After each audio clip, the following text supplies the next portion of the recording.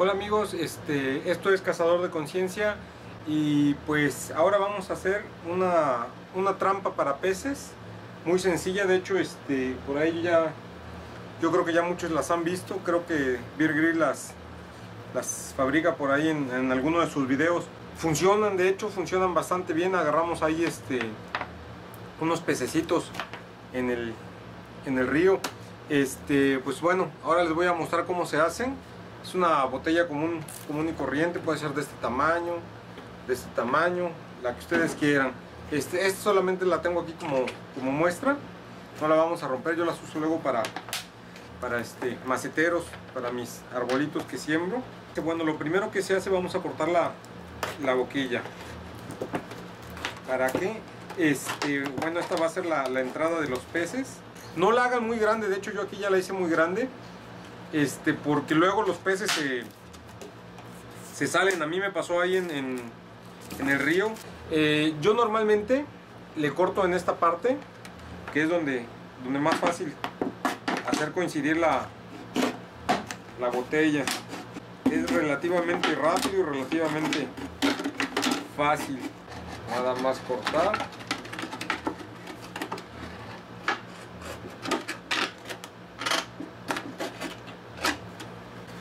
La vamos a cortar. La vamos a poner de manera invertida.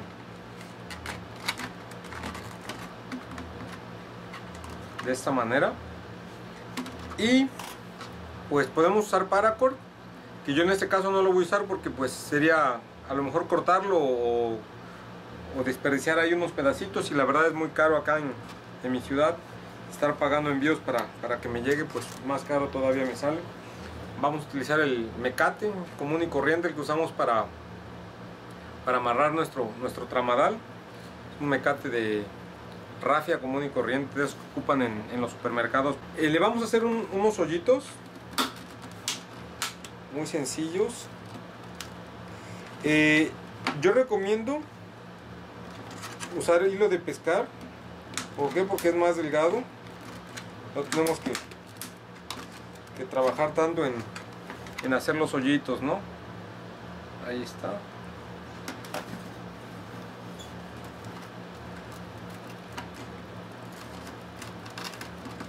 Metemos la rafia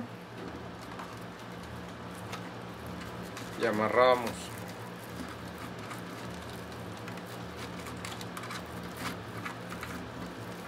Vamos a hacer de cuenta es una como si fuera una costura.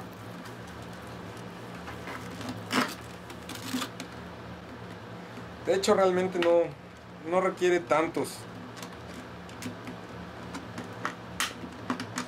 Incluso podrían este,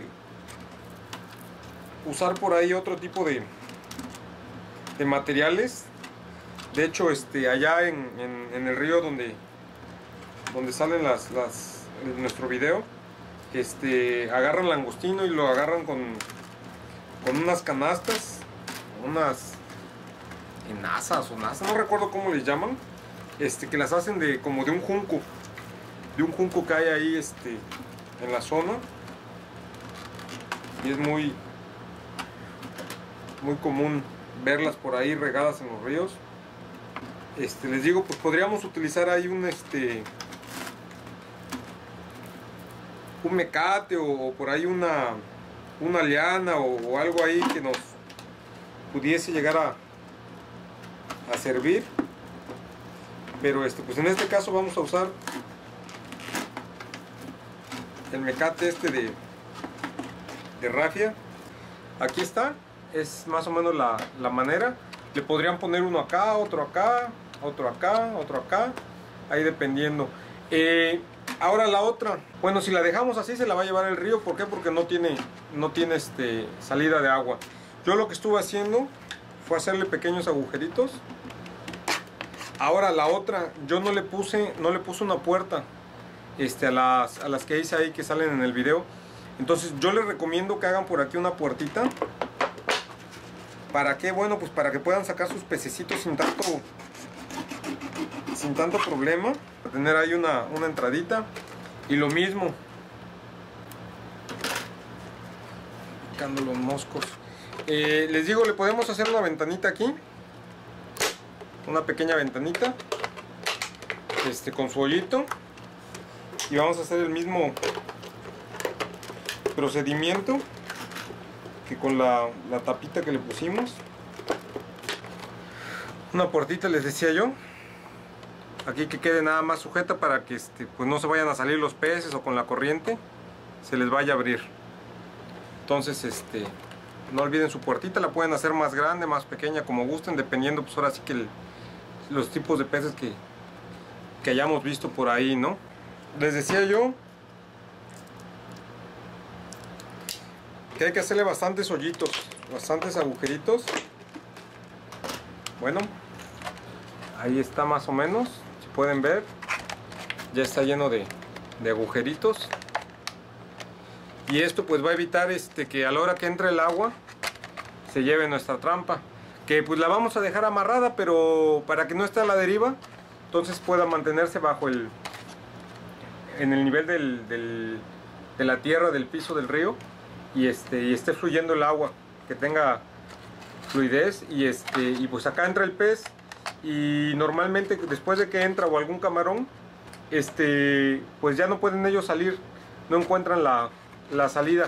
Eh, por eso acá en este caso yo hice un poquito grande la boquilla este puede ser un poquito más chica yo de hecho la última que hice una de las que hice estaba más o menos de este tamaño y había una mojarrita pero este el problema fue que yo la manipulando la botella y eso la volví a poner en el río y cuando me di cuenta ya no estaba. Pero yo creo que si la hacemos un poquito más pequeña no vamos a tener ningún ningún inconveniente y nos va a quedar este pues más, más segura. Pues en sí señores es una trampa muy sencilla, yo ya la probé, esta, esta trampa yo se las puedo recomendar. Eh, yo no soy trampero, a mí no me gusta poner trampas porque no me gusta lastimar a los animales. Me gusta vaya hacerlo más lo más rápido este, a la hora de, cazar o de pescar pues ser rápido para, para no hacerlo sufrir. Incluso los camarones este, pues antes de echarlos a la lumbre me gusta aplastarles la cabeza para que no, no sufran en la lumbre ¿eh? este pues en sí señores es todo ahí les dejo el, videito y espero les, les guste mucho